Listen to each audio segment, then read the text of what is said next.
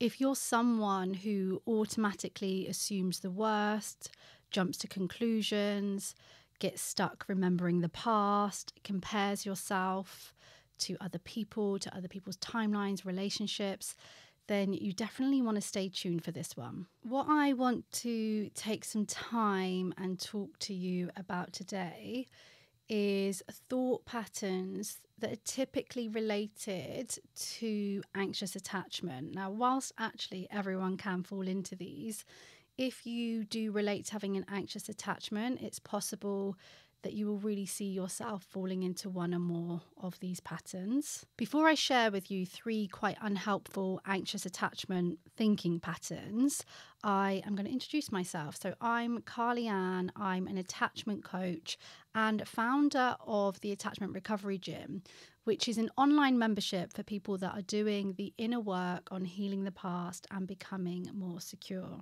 Everyone that reaches out to me, in fact, every person falls into having unhelpful, negative, automatic thoughts. It's definitely part of being human.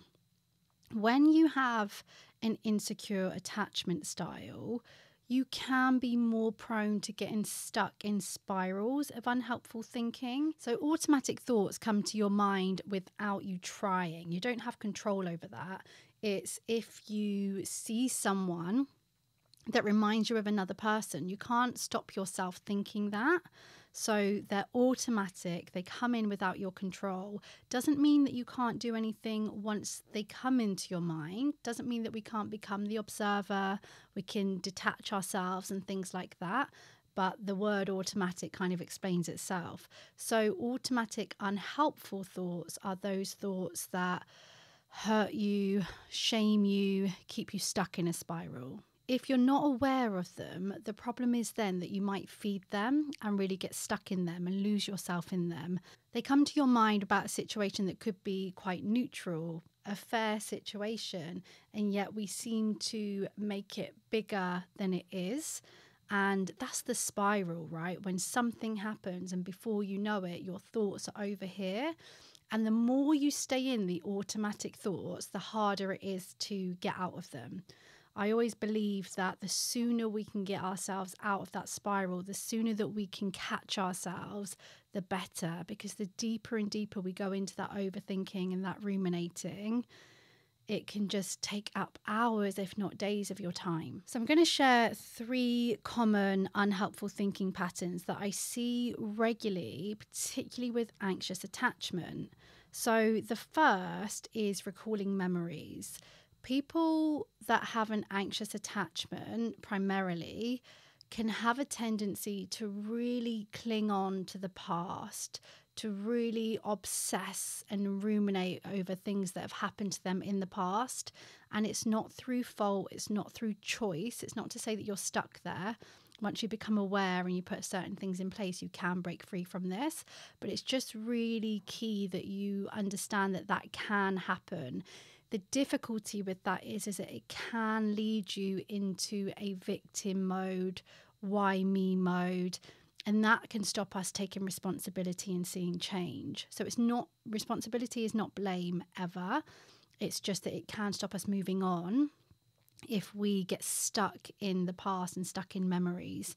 Now, either this is a thinking pattern and you can break free from this and get help and follow strategies, or it could be that you need some professional help with that. The next pattern is comparing yourself negatively. Now, this could be comparing yourself in terms of how you look, comparing yourself to your partner's ex, comparing yourself to your ex's new partner. It can also be comparing your relationship. So, thinking that your relationship isn't as happy, isn't as exciting as someone else's. It really depends, but it can be that comparison, which obviously then means that you're not focused on your path and you're losing such valuable, precious time because you're comparing yourself to something that you might not even have actually that much information about. And the third pattern is jumping to conclusions. So we jump to conclusions when we make negative, kind of automatic assumptions about a situation. So, the reason why someone isn't messaging us back, or the reason why our partner wants to go away for the weekend, and it is usually negative, it's usually us putting ourselves down, linking it to abandonment, rejection in some way. And it can be really painful because it just means that you can really miss out on, you know, your own life your own day, you could lose hours and hours thinking about this possible scenario, only to find out further down the line that all is good and all that's happened is you've lost some of your precious, precious time. So, just to recap, we have recalling memories, comparing yourself negatively, and jumping to conclusions. That is actually just a partial list of unhelpful thinking patterns that we can fall into.